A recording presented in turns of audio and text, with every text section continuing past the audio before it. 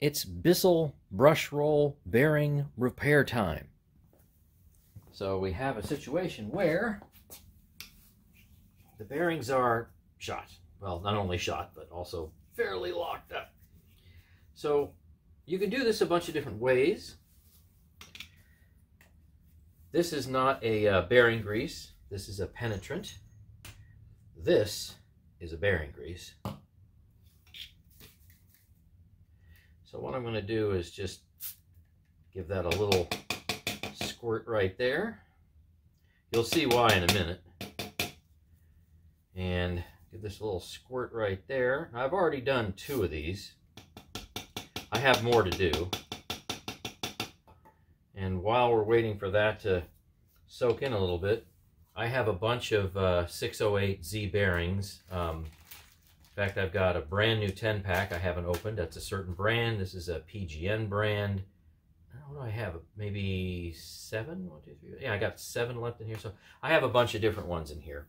So what you want to do, now if you've got other tools, you obviously already know what to do. But what I'll do with minimal tools is see the see this round end right here as opposed to uh, kind of more like a like an oval. So I will go and get a socket. So this one is um, 17. What is this one? This one's a 17 millimeter.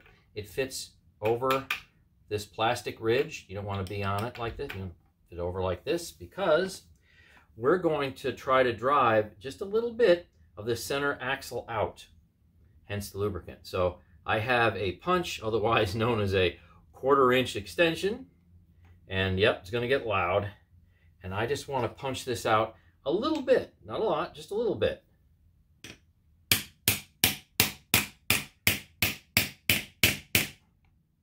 It's already moving. That's good.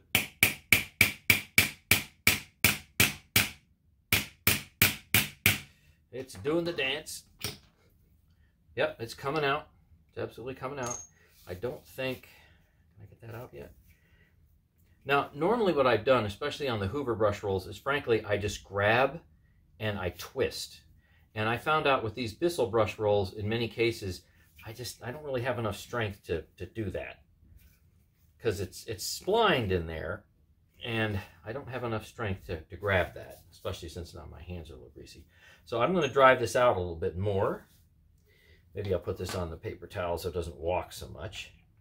But essentially what I need to do is drive out that axle, I don't know, maybe quarter inch or so. It's not that far. Go, keeps me from walking. Right, coming out farther. Once I zoom in, you probably won't be able to see that, but we're almost there. Just going slow. Let's see, can I get that out yet? Oh, not yet. I was hoping that I could. No. Maybe I'll have to run this in fast motion. I want to do it slowly because I don't want to actually break this brush roll or the end caps or anything like that. So.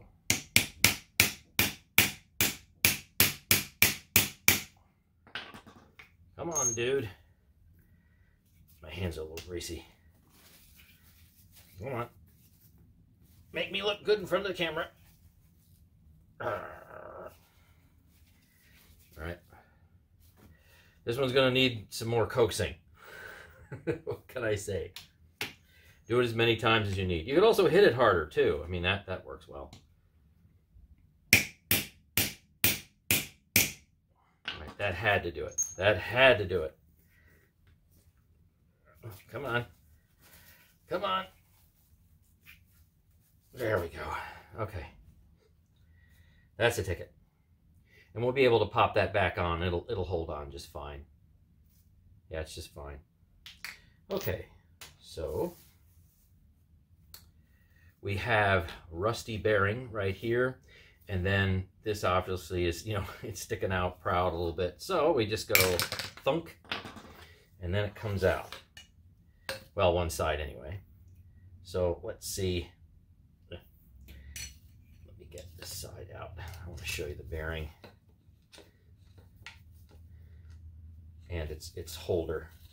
because there's also a finger spring in here as well. So you can see it's got some rust in it. And you know what? Is that? That's rusted in there too. Isn't that fun? Okay, let's see. Does this work? Will that get me? Yeah. So that was actually rusted in there as well. Yay! Lots and lots of rust. Isn't that fantastic? And you wonder why I do stuff, you know, like on high speed a lot. Because, you know, this is kind of boring for some people to, to watch.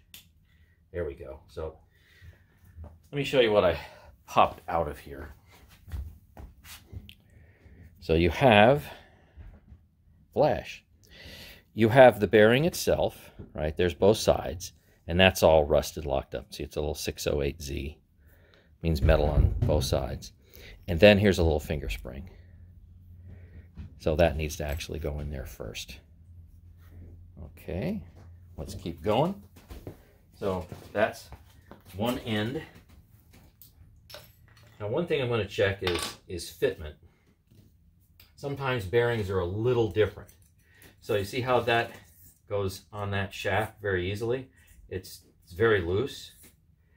So let me see which bearing does that because I don't want to be pounding that in.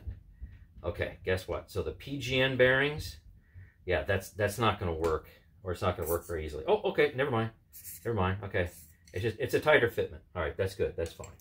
And this is a different brand. I forget. Uh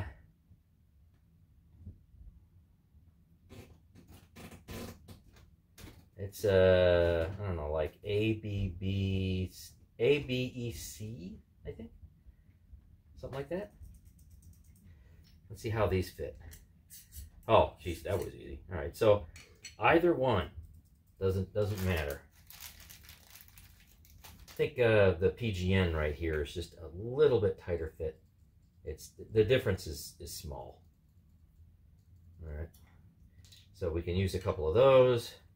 I like using these PGN brands for my uh, real high speed applications.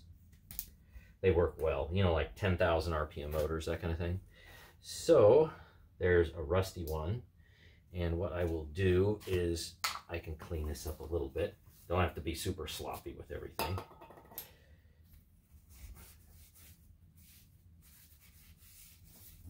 There you go. So that cleans the rust out well enough. I'll clean up the finger spring. All right, that's good. I suppose I could dry some of that off just a little bit. Then I'll put some of my Magic Blue Mobil Polyrex electric motor bearing grease. I mean, that's what it's designed for. It does a great job. So a bearing never gets rusty and stuck back in here again. I'll do this, and then I'll grease up the finger spring. Put that in first get a bearing here and it should push in there it pushes in just with your thumbs and that's ready to go. Okay so that's one end. That's one end. Now, what about the other end? Well, this ought to be entertaining. Let's see how I get rid of that. So now let's see. You know I think the easiest thing is, is I'm going to put this back in here and pound that out just a little bit. But I'm to need something bigger than that. Let me see what I have.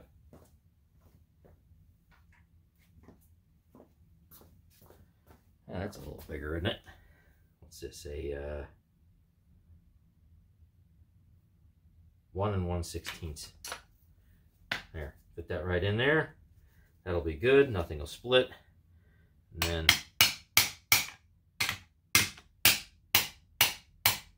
there we go. Pound that flat again because hopefully this will separate. Yeah, it's getting loose. Er, relatively speaking. Come on, come on. Now it's all kind of rust together. Big pile. Come on. If I have some other debris stuck in there? I mean, something else that I wasn't aware of. Come on. Really? You're gonna make me look bad on, on camera live, aren't you? Aren't you? Might have to coax it a little bit.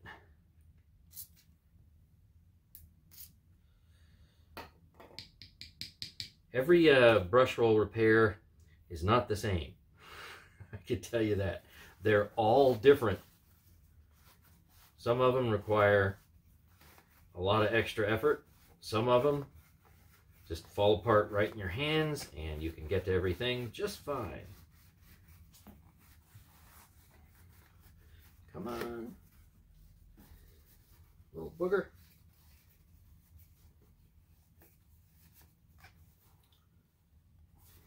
So that's really that's really in there, isn't it?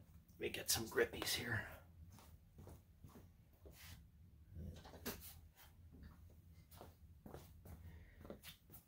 You never know what tools you're going to need until you need them, I suppose. Come on. That is really, really stuck in there.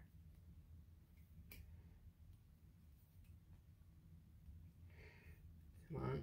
It won't separate. Well, maybe all I'll have to do is just pound the axle out completely.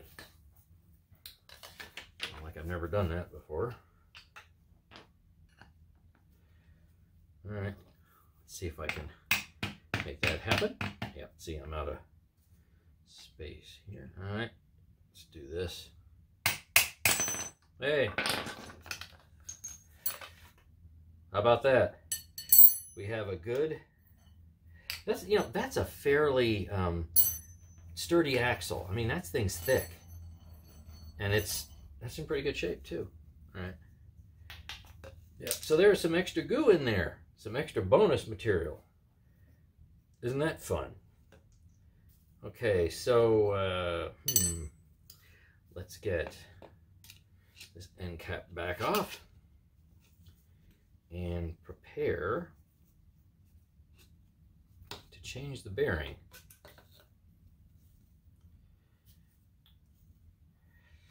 Uh, where'd we go?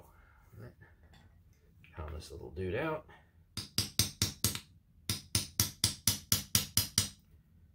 Come on, out you go.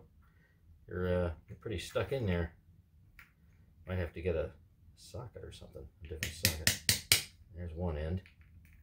All right, is that enough? You gonna come out now? This thing's this thing's even rustier than the last one.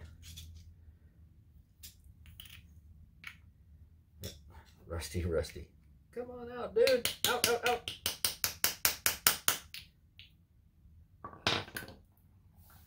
Out, out. Out, out, out, out, out, out, out. Okay, there we go. Now I'll show you how show you how nasty this one was.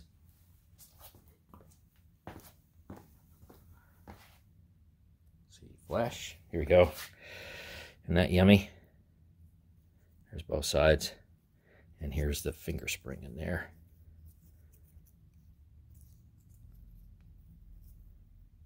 Ugh, nifty.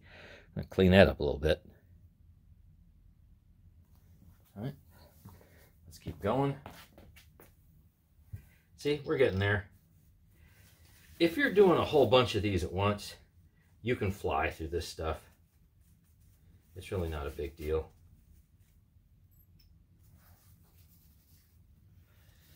Clean everything up as much as possible.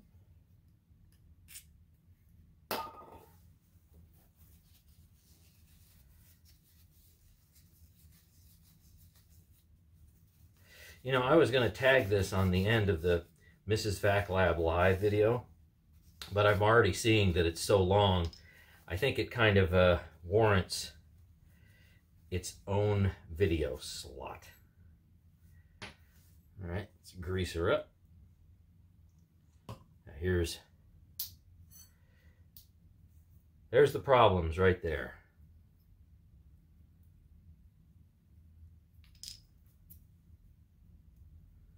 Okay, there's a fingerprint uh, spring uh, greased up.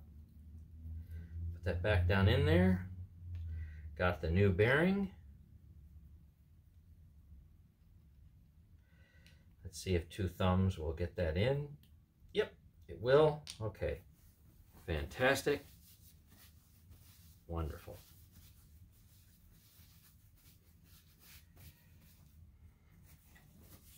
Get some stuff out of the way here. Don't need it. Now, what I do, now this right here, you can see there's no rust on this. But to prevent rust, you could go and put a little more grease all over it. Just, just a little bit. You don't have to bathe it in it. Just, just a little bit. Because grease repels water. So for some reason this were to ever get, I guess, excessively damp, um, this now will almost be guaranteed not to rust, yeah, for the most part. Life isn't perfect, but uh, it helps. All right. So now let's get some more stuff out of the way. Now let's see. I think this side we'll put in, see, I guess I can put that in on one side here. Doesn't matter because they both are going to have to go in one way or another. Push that down, right? And then this side's going to go in here. And that will slot in. Push it down just a little bit. Okay, so we have a good we have a good fitment. All right, that's that's decent. it spins now. that's cool. All right, now let's see. I think where the belt is, that's where the round cap goes. It's completely round. So I'll put that in. Locate the far end. Oh, fantastic. And here's this cap.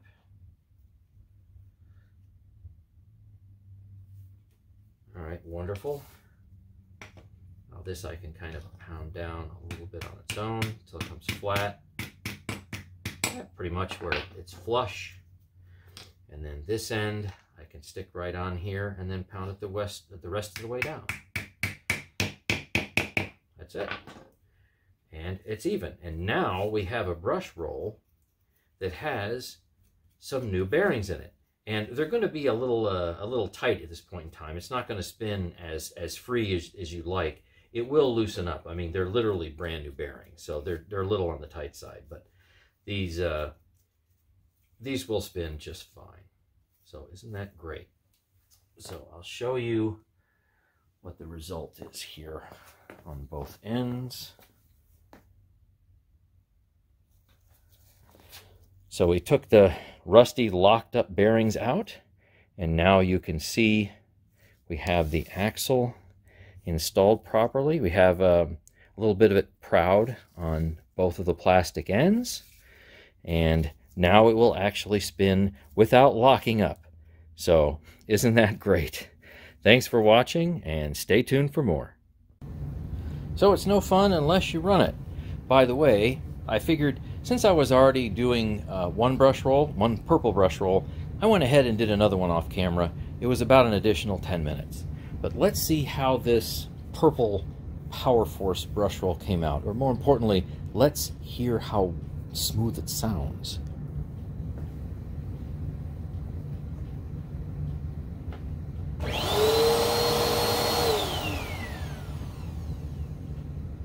That's almost like brand new.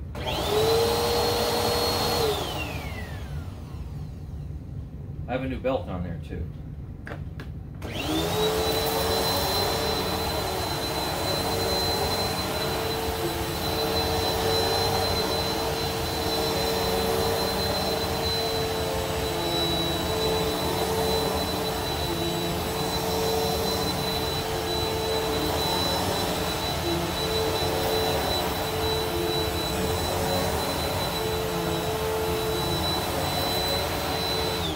You know, it digs a little too much when you put it on position three, so I run it on position four for this carpet.